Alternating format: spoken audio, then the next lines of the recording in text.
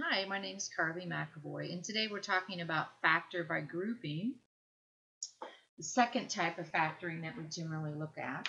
And for this one, I'm going to do the following problems. You can see 1 through 5, so you can take a look and see which ones, if any, uh, apply to you that you would like to watch. First, we're going to go over the steps for taking for factor by grouping. And um, for that, if you can take out a greatest common factor for the top, the entire polynomial, do that first. If one exists, they don't always. Two, break the polynomials up into groups. Factor out the greatest common factor for each group. Factor out the binomial that you get from doing step three. And then check by multiplying. So here are our examples. We're going to do the first example here, down here. So the first thing I'm asking myself, is there a common factor for the entire polynomial? So I can see that 5 goes into these but doesn't go in here. There's an x in three of these terms, but there's no x here. There's a y here, but there's no y's there. So there's no common factor for the whole polynomial. So I'm going to break this into groups and in the beginning, when you're doing factor by grouping, usually the groups are all set up for you. In other words, we're going to do the first group as the first two terms and the last group as the last two terms. And as they get more complicated, you'll have to rearrange the, group, the terms sometimes to find the right grouping. Notice that in between my two sets of parentheses should always be a plus. It's not a multiply at this point. Factoring, we are trying to turn into a multiplication problem, but we can't do that until we look at the groups individually. So there should always be a plus in between your two set of parentheses. Step That was step two, break it up into groups. Step three, factor out the common factor. Well, in this group, I can see that I have a common factor of 5 and an x. If I divide both of these by 5x, which is their common factor, I'm left with x plus 3. Now I go to the second group. I see that the second group has a common factor. I still have this plus here. Has a common factor of 7 and a y. And if I divide both of these by 7y, what I get is x plus 3. Now when this starting off, when you're given a factor by grouping problem, they work out. As you get into more complicated things, sometimes you try to factor by grouping and it doesn't work. How do you know it doesn't work? These two things have to match exactly. If they don't, then factor by grouping isn't working for you. But I'm telling you in the beginning, they're going to give you factor by grouping problems that do work. So if you got like x plus 3 here and x minus 4 there, you want to go back and check your arithmetic and make sure you didn't make some mistake that's causing that to be wonky. So what I have in common now, which is step four, is factor out this binomial. So if I take out the x plus 3, remember when you take out a binomial from a previous video, we write it in parentheses because we're taking that entire thing out. The x plus 3's cancel. What's left for the first one is 5x and for the second one is 7y. So there's my factored form. Remember, you can always check by multiplying. x times 5x is 5x squared. Um, x times 7y is 7xy. There's that term. 3 times 5x is 15x. And 3 times 7y is 21y. So all four of my terms I can get back by FOILing or multiplying this problem out. So I feel confident that I did that correctly. You can always check by multiplying. Let's take a look at the second one. Remember our, our steps. I'll put them here actually so you can see them. We want to take out the greatest common factor for the entire polynomial, if possible, if it exists. Well, the numbers, I can see there's no number that goes into all four of those. There's a P in a couple of them. There's an F, there's an F here, but there's no F there, no P. So there's no common factor for the entire thing. So I'm just going to group this. So I have 7F P squared and 21P squared. That's my first group. Remember how I said you always need a plus in between? So that minus here, that's that's part of this term, right? The coefficient is negative 8. So that goes into the parentheses. And it's important that you don't leave a minus sign hanging out there in the front. So what I just did was I broke the polynomials into groups, remembering that there's always a plus in between. And now I want to go back and take out the common terms. Well, I have a 7 that goes into both of these. And I have a p squared in both of those. I've got an f here, but that's not going to... So I have 7p squared and 7p squared. So what happens is I have f plus 3 left. That's what I have inside there. And here I want to be careful because what I want is after I factor, I want this to match this, right? I want f plus 3 in my parentheses over here. Since I want f, instead of just taking out the 8, I'm going to take out the negative 8. That's going to take the negative and the 8 and leave a positive f behind. So I'm dividing both of these by negative 8. Since I'm taking it out as a negative, I'm going to write the minus 8 there because I'm, it's like plus a negative 8, but I don't need to write that plus sign. And so I get f plus 3. Now I can see that what I have left is the f plus 3. That's the last step uh, next to last step, factor out the binomial. The binomial here is f plus 3. I'll write it over here because I didn't leave myself good space. And if you divide by f plus 3, then those go away, and you have 7p squared minus 8. Now, I should be able to multiply to check that f times 7p squared is 7fp squared. Yep. How do I get 21p squared? That's 3 times 7p squared. That's that term. Then I have f times negative 8. That's negative 8f. And 3 times negative 8, that's negative 24. So that checks out. I can FOIL that out, and I could get back to the four terms I started with. Okay, let's look at this one same thing, the first thing I want to do, if there is a greatest common factor for the entire polynomial, I want to take it out. Well, let's see. I have 24, 12, 6, and 3. So 3 goes into all of those, so I can take out the 3. X is not in all of them, Y is not in all of them, it's just the 3, right? So I'm dividing each of these factors, uh, each of these terms, excuse me, by 3. And what that leaves then is 8xy plus 4y plus 2x plus 1. Okay. Now I still want to try to factor that thing by grouping, so I'm going to go ahead and group them. And because I have parentheses and then brackets, I'm just, I mean, parentheses and parentheses, I'm going to write it as brackets to make it a little easier for me to see. 8xy plus 4y. Remember, the plus has to go in between. This is a positive 2x plus 1. Okay, I'm not worried about the 3 right now. That's just going to be part of my final answer. But what I'm worried about is these two pieces in here.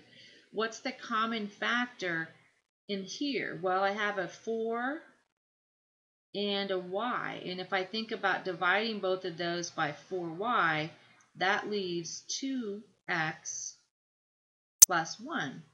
4y over 4y is 1. And I can't take anything out of this, but luckily it is 2x plus 1. So now when I look at this, I have a common factor. Remember that we factor out the GCF for each group, and then the next step is to factor out the binomial. So now I'm ready to take that binomial out of both of those, knowing that I still have a 3 out front. And what the common binomial is, is 2x plus 1. Now, if I take the 2x plus 1 from the first term or divide it out, what I'm left with is 4y. And when I take it out of the second one, what am I left with? Well, there's an invisible, understood 1 there, so I'm left with 4y plus 1. And that's my final answer. I have 3 and then I don't need the brackets. I could have just left those off, but I do need the parentheses around each of these. So how would you multiply that out to check it? Well, you would FOIL this. We'll go ahead and do it. 2x times 4y is 8xy. And then um, 1 times 4y is 4y. And then 2x times 1 is 2x, and 1 times 1 is 1. Now if I distribute this back through there, I get 24xy plus 12y plus 6x plus 3. So this is what I started with. If you were to multiply that out and get the terms in a different order, that's fine as long as the signs were the same, which these are all positive. So my final answer, I feel confident then, is the 3 that factored out and then the two sets of parentheses that were left. 3, 2x plus 1, 4y plus 1. All right, number 4. Again, I'm looking for a common factor if there is one, and I can see that my numbers have no common factor. 16, 46, 15, no. But I do see that there's an m in all of these terms, so I'm going to start off by taking out the m. When I divide each of these by m, I still have some m's left in there, right? Because there was two m's, a couple of those places. Was there an n in all of them? No. Okay, so I'm going to take out the m and get 16mn because I have one left minus 40n squared minus 6m plus 15. Do you agree with that? Because I took out one m, but there's one m left in a couple of those places. Now I'm going to do the next step, which is I did that, took out the greatest common factor. Now I'm going to break the polynomial up into groups.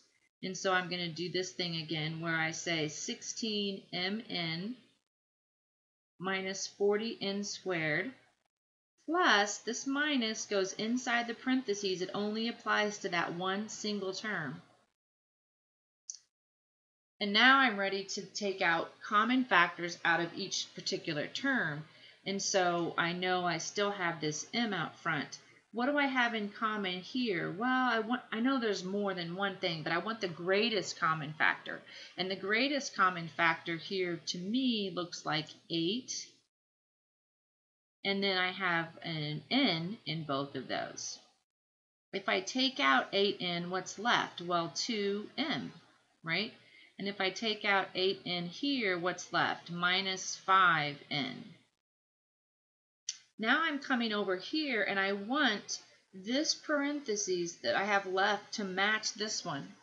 Can you see that I have a positive followed by a negative? And up here I have a negative followed by a positive. So it makes sense to me that I need to take out a negative in this one to change the signs to match the signs I have here. And then I want to also get this to match. If I have 2, I want to take out the 3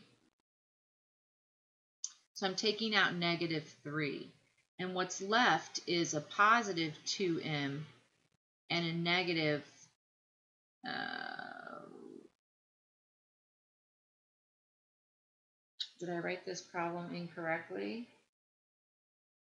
I did. When I wrote it down, I left off the n squared here. Ah, this whole thing is going to be messed up now. Okay, so um, yeah. well, let's say I wrote it down. I guess I could show you what happens when you mess it up, but because I had no n squared there like I should have, do you see how when I wrote it down here I left off the n squared? That messed everything up. How did I know I had made a mistake? Because when I got to this, what I had was negative 5, and it didn't match that. And that's a good example. This It's too bad that I made a mistake. But it's good that I, you can see that how did I know I made a mistake? Because when I get down to here, these two things should have matched. Now later on in your math life, there's no guarantee of that, but I'm saying early on, we are trying to make them match, right? So actually, this should have been n squared, and that means I have an n squared in common that I should have taken out, n squared, n squared, right? And if I took out both n squareds, then there's no n left here, and so I have 2x, 2m minus 5. and I have the 2m minus 5 there. It's really tempting just to start the video over and do it, but I'm going to tell you something. People make mistakes. How many times have you had something like this where you wrote it down wrong and then you got it all wrong because you were working the wrong problem? It happens. It happens to everybody. There's going to be a point when you run into a mistake, and when you run into a mistake, instead of saying, wow, they wrote the problem wrong, you need to ask yourself, what go back and look at your own work and see if you can find your mistake just like I did. Okay, so you know mistakes happen. Nobody's nobody goes through math without making mistakes, and sometimes mistakes lead you to understanding that wouldn't happen otherwise. So it's not all bad. Now we're going to take out a common factor of 2m minus 5. And when you take that out, what's left? Well, you have 8n squared and minus 3. And then we can always check by multiplying. So I could go back up here and say, what do I get when I multiply 2m minus 5 times 8n squared minus 3? Well, I'm going to write the m out front. I'm not doing anything with that yet. 2m and 8n squared is 16 m n squared and then negative 5 times 8 is negative 40 n squared. And then negative 6m, and then plus 15. Now I'm going to distribute this, and that's going to give me 16m squared n squared minus 40m n squared minus 6m squared plus 15m. And that is what I started with. So now I know my answer is m, 2m minus 5, 8n squared minus 3. So if you're doing this on a test for somebody and you decide to check it, make sure that in the end you put a some kind of box or circle around your final answer. So like, okay, this is my check, and you don't want to leave it like this because that's what you started with, right? Your answer is that factored form. Okay, sorry for the mistake, and I hope we all learned something there. Okay, now number five, well, the common factor in number five I can see right away is 2. So I'm going to take the 2 out, and I'm going to divide everything by 2, and that is 7x squared minus 14x minus x plus 2. Now I'm going to break it up into groups. So I have 7x squared minus 14x plus, remember that minus goes inside the parentheses. And now I'm going to factor each group. 7 and x can both come out of that. If you divide both of these by 7x, you get x minus 2. Well, what am I going to take out of this set? The only thing is I have x and 2 already. But this is positive x and this is negative. This is negative and this is positive. So what I want to do is divide by negative 1 on both of those. So I'm taking out a negative 1, which makes that x minus 2. All I'm doing here is changing the sign, so that's why I'm taking out a negative 1. I still have the 2 out front, and what I have in common is an x minus 2. And then if I take out the x minus 2, I get 7x minus 1. And then I can go back and check that to see if it actually comes out to be what I started with. You can always check by multiplying, remember. So I have x times 7x, which is 7x squared. x times negative, or two, negative 2 times 7, I'm just trying to make them in the same order, but it doesn't have to. Negative 2 times 7x is negative 14x. Then I have negative x, and I have positive 2. Now if I distribute the 2, I get 14x squared minus 28x minus 2x plus 4. And that is what I started with. So my answer is 2, x minus 2, 7x minus 1. And there's my final answer. All right. Have a fantastic day, and I hope you enjoy factoring as much as I do.